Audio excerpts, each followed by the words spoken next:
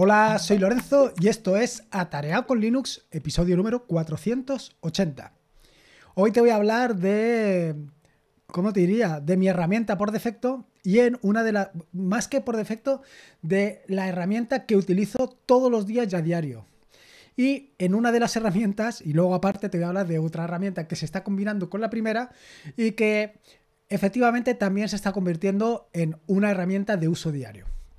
Te voy a hablar de NeoBeam y te voy a hablar de ChatGPT. Y te voy a hablar de, cómo puedes combinar ambas herramientas para exprimirlas al máximo. Pero antes de nada, antes de meterme en el lío, antes de explicarte cómo puedes combinar ambas dos, lo primero que te voy a explicar es qué es BIM, qué es NeoBeam y qué es ChatGPT. Así que vamos directos al turrón. Bueno, eh, probablemente esto de ChatGPT no hace falta que te lo explique, porque yo creo que ha salido prácticamente en todos los telediarios. Y sin embargo, BIM y NeoBIM no ha salido en todos los telediarios. ¿Cómo puede ser esto posible? No lo entiendo. Realmente no lo entiendo. Pero bueno, em, ¿qué es BIM y NeoBIM? Bueno, si eres de los asiduos a este podcast, probablemente ya me hayas oído hablar tanto de BIM como de NeoBIM en una miriada de veces. No solamente de esto, también em, puedes encontrar información sobre BIM y NeoBIM en atareao.es, en la página web. Eh, puedes encontrar vídeos también en el canal de YouTube de BIM y de NeoBIM. Hay un completo tutorial de, bueno, completo no, pero vaya, un, eh, un ¿cómo te diría? Un tutorial que está en progress de BIM y el paralelo de NeoBIM, donde te hablo sobre esta herramienta, sobre este editor. Pero ¿qué es BIM y qué es NeoBIM? Bueno, pues no es ni más ni menos que un editor. Un editor como puede ser perfectamente Word. Bueno, a lo mejor se me ha ido un poco de las manos. Pero vaya, una herramienta para escribir. Así de claro. Em, ¿Y por qué utilizo BIM y NeoBIM y no utilizo, por ejemplo, eh, Microsoft Word o Visual Studio Code eh, para, por un lado, escribir y por otro lado, para programar? Bueno, pues porque en un momento determinado decidí meterme en el mundo de BIM y me absorbió. Entré y quedé atrapado para siempre en esto. Como bien sabes, editores tanto de texto como de código hay tantos como estrellas ahí en el cielo. Puedes encontrar todo tipo de editores. Eh, Microsoft Word, LibreOffice, eh, bueno, hay muchísimos. Yo, yo te digo los dos que siempre me salen a la cabeza, pero como te puedes imaginar, hay muchísimos y seguro que tú sabes muchísimos más. Hay editores que son mucho más, em, como te digo, que tienen muchos más complementos, que tienen muchas más posibilidades, que tienen muchas más opciones y otros complementos que son más, otros eh, editores que son más parcos. por ejemplo, no sé decirte, bueno, no te sé decir, vaya. Y luego están los que son todavía más parcos de los parcos, los que se abren o los que se ejecutan directamente en terminal. Y es que BIM, bueno, en este caso te voy a hablar siempre de NeoBIM, que es el que estoy utilizando ahora, pero prácticamente lo puedes hacer todo eh, equiparable en BIM. Son editores que se trabajan sobre la terminal, sobre una terminal de Linux. También existe la parte gráfica, pero ahí le, le encuentro menos, menos gracia, por lo menos desde mi punto de vista. Claro, llegados a este punto te preguntarás, pero, pero muchacho, que estamos en el siglo XXI, ¿qué haces tú todavía utilizando un editor de terminal? ¿Por qué? Pero no solamente te tienes que preguntar esto, no solamente el problema soy yo, no solamente yo soy el único que está utilizando un editor de terminal. Te vas a encontrar con que hay muchos desarrolladores que siguen o que están utilizando editores de terminal. Y te preguntarás, ¿por qué? Bueno, pues básicamente por una cosa que se llama productividad, porque están eh, todo el día en la terminal, al final te hace ser más productivo. O por lo menos esa es la sensación que tengo yo y probablemente la que tienen muchos. Eh, una de las grandes ventajas que tienes con estos editores de código es que son editores de código eh, personalizables y configurables hasta el más mínimo de los detalles. Y aquí lo voy a unir con la otra pasión que tengo y que ya sabes perfectamente, Linux. Una de las grandes ventajas que tienes Linux frente a cualquier otro entorno de escritorio, ya sea Windows, Mac o lo que tú quieras, es que tanto Linux, perdón, tanto Windows como MacOS son editores, son entornos de escritorio, entornos de escritorio eh, que vienen configurados y vienen establecidos de esa manera. Los puedes utilizar como eh, los desarrolladores han pensado. Sin embargo, en el caso de Linux, primero que tienes una gran cantidad de distribuciones entre las que elegir Y luego, por, por ende, además, tienes una gran cantidad de eh, entornos de escritorio que seleccionar. Y para, digamos, para ponerle la guinda al pastel, tienes la opción de configurar o combinar aquel eh, entorno de escritorio con aquella distribución y además utilizar aquellas piezas que tú quieras de cada uno de los entornos de escritorio. Es decir, por ponerte un ejemplo, si de un entorno de escritorio lo que quieres es la barra de menú, por ejemplo, y del otro quieres los widgets, pues puedes hacer esa combinación. Y esto es una posibilidad. Esto para la gente que lo que quiere es tener un entorno de escritorio completamente personalizado y eh, configurado a sus necesidades es fantástico, porque te va a dar la máxima ventajas a la hora de productividad. Vas a ser lo más productivo posible, porque está todo perfectamente pensado para ti. Por ponerte un ejemplo, imagínate que eres un granjero y que tienes la posibilidad de tener una furgoneta para tus necesidades. Por ejemplo, una furgoneta que te permitiera llevar tres vacas en paralelo. ¿Para qué? No tengo ni idea, pero que pudieras hacerlo. ¿No sería fantástico si lo que tú quieres es llevar tres vacas en paralelo? Pues sí. ¿Qué es lo que pasa? Que tienes la posibilidad de comprarte una furgoneta donde solamente te cabe una vaca, porque es la que venden los fabricantes. Bueno, pues esto es las ventajas que te ofrece Linux, que tú puedes montártelo como tú quieras sin ningún tipo de problemas. Y esto exactamente igual es extrapolable al caso de BIM y NeoBIM. Tú puedes crearte tu editor exactamente como tú quieres. Tú puedes personalizarlo y configurarlo como tú quieras. Puedes añadir exactamente los complementos que tú quieras y los que no quieras, pues te los programas tú. ¡Qué puñetas! Hablando mal y pronto, tú puedes hacer exactamente como tú quieras y lo puedes dejar todo perfectamente ideado para tus necesidades. Em, todo esto, todo esto que te estoy contando y que seguro que te está pareciendo maravilloso, tiene una contrapartida que ya sabes cuál es que es el tiempo que tienes que invertir en dejar todo esto perfectamente eh, montado para como tú quieres. Y en ese tiempo, en esa, en esa inversión de tiempo, se va mucho tiempo. Y esto es muy peligroso. Porque uno de los problemas en los que puedes caer es en pasarte todo el día personalizando el editor, personalizando el escritorio, personalizando lo que quieras personalizar y sin trabajar. Es decir, estamos yendo a un entorno de escritorio, a un editor perfectamente configurable y, mm, adaptable para conseguir ser lo más productivo posible y te estás perdiendo en el camino, en la improductividad. Esto es algo que hay que cuidar mucho. Pero bueno, son detalles. Total, que como ves, al final puedes tener un editor exactamente a tus... Eh, adaptado a tus necesidades y puedes dejarlo, bueno, puedes hacer exactamente lo que quieras. Actualmente yo estoy utilizando, en mi caso, como te digo, NeoBeam para programar tanto en Python, PHP, JavaScript y Rust. En esos cuatro lenguajes actualmente estoy programando. Y, ¿he dicho Python? Supongo que sí, ¿no? Ahora ya no estoy. Bueno, total. No solamente esto, sino que además estoy escribiendo, escribiendo texto. Escribiendo texto y en este caso escribiendo texto em, en formato Markdown. ¿Por qué escribes texto? ¿Por qué escribes, en lugar de utilizar eh, Word o LibreOffice, estás utilizando todavía NeoBeam y además lo haces en Markdown? Bueno, pues por una cosa que escuché hace como 10 años de alguien que me dijo, te tienes que centrar en el contenido. Olvídate de que sea más bonito o menos bonito. Olvídate de estar jugueteando con el ratón para poner eh, las, las, letras, para el no sé qué, para no sé cuántos, para los textitos. Todo eso, olvídate. Y eso es precisamente la gran ventaja que te ofrece el Markdown. Que te centras exactamente en el contenido, en lo que tú quieres hacer. Tú escribes bueno, sí, pones negritas utilizando la sintaxis de Markdown o cursivas, etcétera, etcétera, pero sobre todo lo que haces es escribir, escribir, escribir y no te centras tanto en otras cosas. Y esto te hace ser muy productivo y te hace o tienes la posibilidad de hacer muchas cosas. Y esto es un poco toda la combinación de todo lo que te quería decir. Eh, efectivamente, te he explicado un poco qué es BIM y NeoBIM, te he explicado también por qué hay muchos desarrolladores trabajando en esto. Bueno, eso no te he explicado, pero sí que te he explicado por qué hay muchos eh, no tantos escritores, utilizando por lo menos Markdown seguro.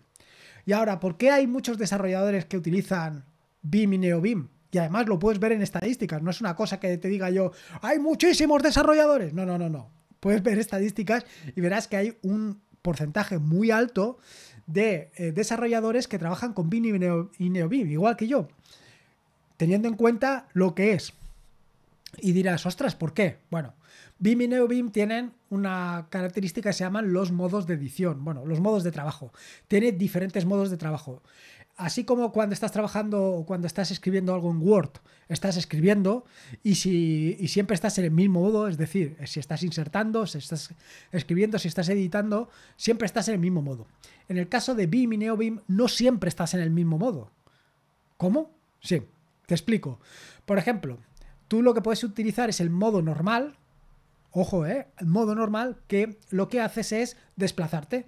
Utilizas las teclas de cursor o las teclas HJKL para moverte a lo largo y ancho del texto, a lo largo y ancho de todo tu documento. Pero no editas nada, simplemente te mueves. Luego tienes el modo de edición donde sí que editas.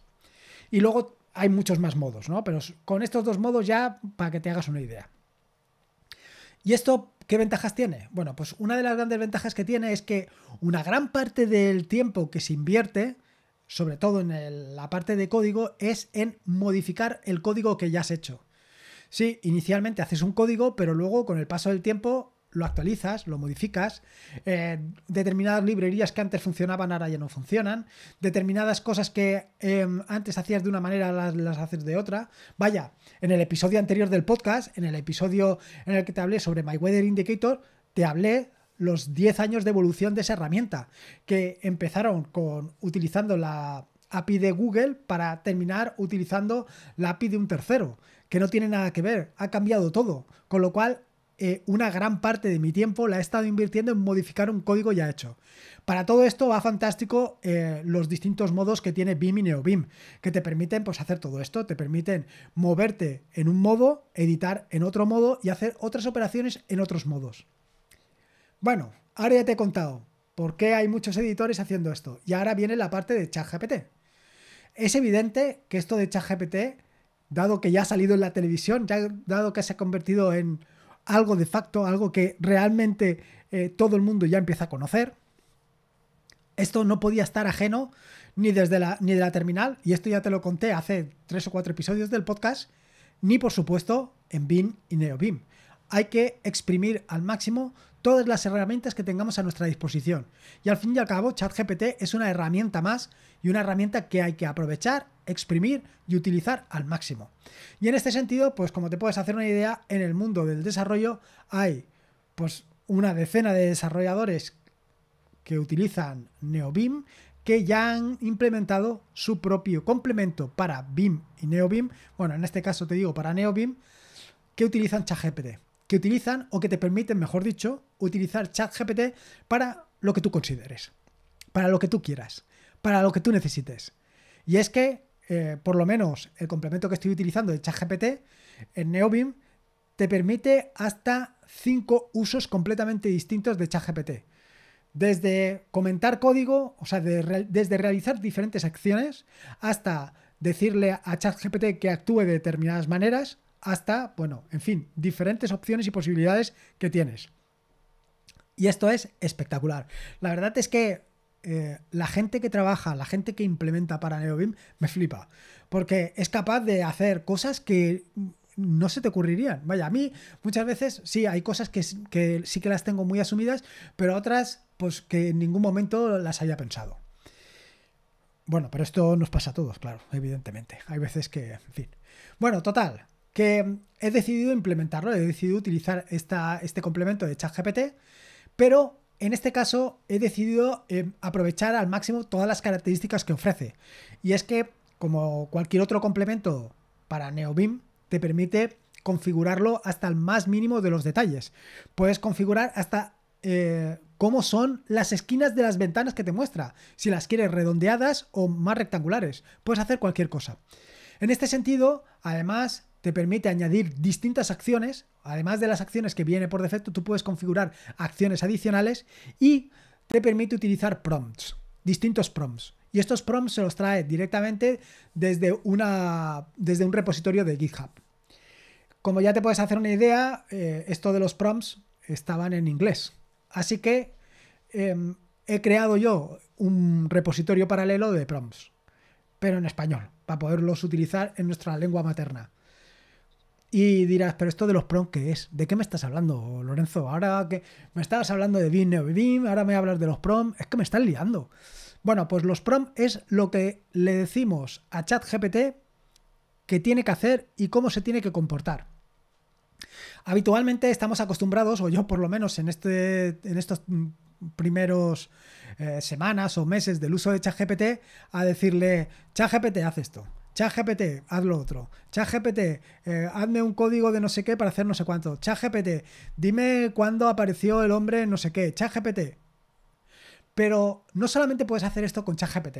A ChatGPT le puedes decir, tienes que comportarte como un desarrollador de código Python. Me vas a ayudar en el desarrollo de las eh, aplicaciones. Vas a enseñarme a mejorar mi código Python.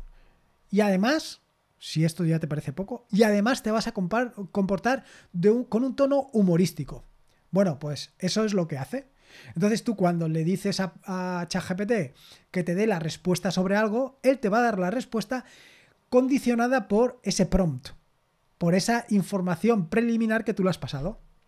Así, bueno, pues lo que he hecho ha sido básicamente utilizar algo muy meta, ChatGPT, para traducir todos los prompts que me he encontrado en este repositorio de prompts aguasómicos, pues traducirlos al castellano, traducirlos al español para poderlos utilizar, como te digo, en nuestra lengua materna. He hecho un, código en Python que lo que hace es eh, llamar a ChatGPT, decirle que traduzca, y luego pues lo he guardado en un CSV que es exactamente el mismo formato en el que se encuentra en el otro. Y esto ahora ya lo puedo llamar directamente desde mi complemento de Neo, bueno, desde mi complemento no, desde el complemento de NeoBeam que estoy utilizando, de forma que dependiendo de lo que esté haciendo le puedo decir, ChatGPT, compórtate como un desarrollador de Python cachondo. Y entonces le paso, eh, le digo, ponme un ejemplo de cómo puedo hacer esto. Y él me lo pone. Y es que básicamente uno de los usos que últimamente le estoy dando a ChatGPT es para los ejemplos. Y es que, como ya he contado en más de una ocasión, pues esto de buscar ejemplos, sobre todo ahora con el rollo de las píldoras pitónicas, que sean ejemplos un poco distintos, pues cada vez se me hace más complicado, porque siempre termino recurriendo a lo mismo. Así que, teniendo a ChatGPT, ¿para qué me tengo que calentar la cabeza? Le pregunto a él y él que me dé la respuesta. Esto es uno de los usos que le puedes dar, pero no solamente es esto. Como ya te puedes imaginar y como habrás visto en otros sitos, lo que puedes hacer es situar tu cursor sobre el código en Python, por ejemplo, o el código en Rust o el código en el lenguaje que quieras, y le dices, coméntalo. Y el tío lo comenta. Ya no te tienes que preocupar de comentarlo. Y no solamente es esta, la otra de las opciones que tiene, que también es súper interesante, es la opción de hacerte el testing. El testing a partir de un código que ya has desarrollado. Claro, que esto es, esto es contraintuitivo, porque precisamente el testing se hace previo a hacer el código. Es decir, tú estableces todos los tests que quieres que tu código cumpla y luego eh, realizas el código y compruebas que lo cumple.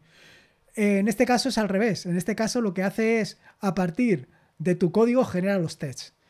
Bueno, eh, en fin, esto es para como aquel, para cumplir la papeleta, pero no es la realidad del asunto.